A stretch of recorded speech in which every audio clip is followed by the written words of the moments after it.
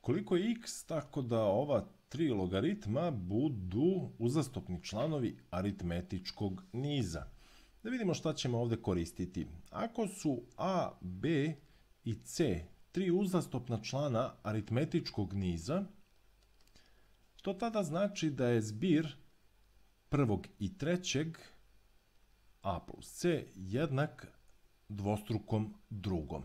I do ovog nije teško doći, prosto napišete a, b i c preko prvog člana i razlike aritmetičkog niza, doći ćete do ovog zaključka i pomoću ovog zaključka ćemo naravno i uraditi ovaj zadatak pod rednim brojem 3.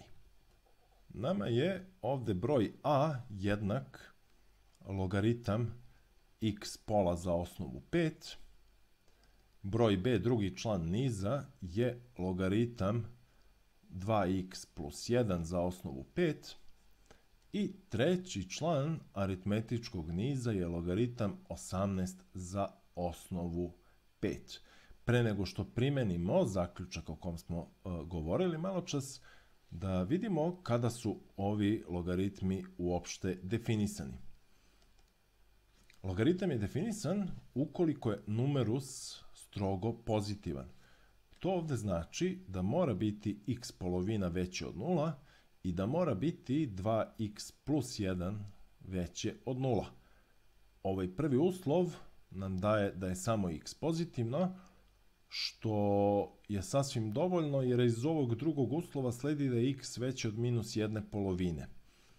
Uslov pod kojim ćemo rešavati naš zadatak je x veće od nule, jer presek ova dva uslova i jeste uslov x veći od nule.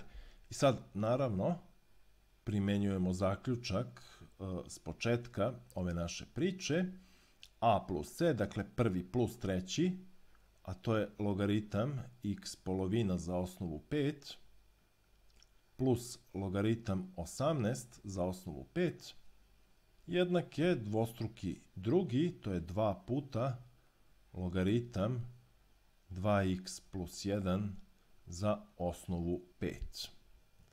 Primenit ćemo osnovna svojstva, osnovne osobine logaritama. Sa leve strane imamo logaritme istih osnova, osnova je 5, što znači i sabiramo dva takva logaritma, što znači da ćemo numeru se pomnožiti. Dobijamo, dakle, logaritam osnova 5, a množimo numeru se, odnosno 18 puta x polovina. Sa desne strane, ova dvojka koja je koeficijent ispred logaritma može da se premesti na eksponent numerusa. Tada dobijemo, dakle ovo nije nula u eksponentu, nego ćemo prosto ovu dvojku popeti u eksponent numerusa. Evo u ovaj kvadrat.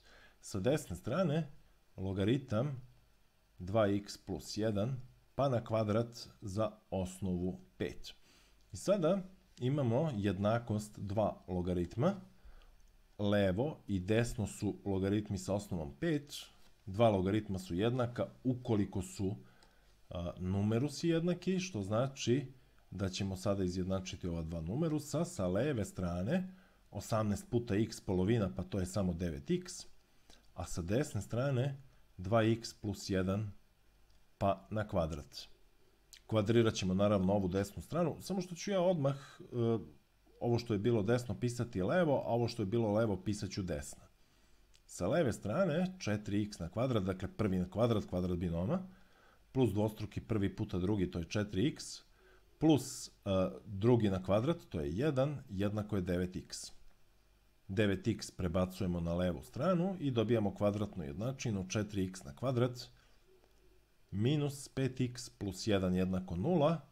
Kao što sam rekao i u prethodnom zadatku, rešavanje kvadratne jednačine ostavljam vama.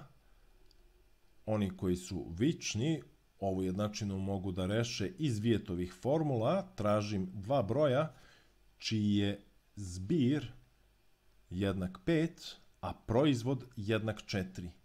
Naravno da su u pitanju brojevi 1 i 4 i ta dva broja delim sa vodećim koeficijentom. Delim sa 4. Tako dobijam rešenja kvadratne jednačine. Dakle, 1 kada podelim sa 4 dobijem jednu četvrtinu, 4 kad podelim sa 4 dobijem 1. rešenja kvadratne jednačine su jedna četvrtina i jedan, i ono što je dobro, da oba ova rešenja ispunjavaju uslov zadatka, oba su veća od nule, dakle, postoje dva rešenja u zadatku pod rednim brojem 3. Hvala na pažnji, pozdrav!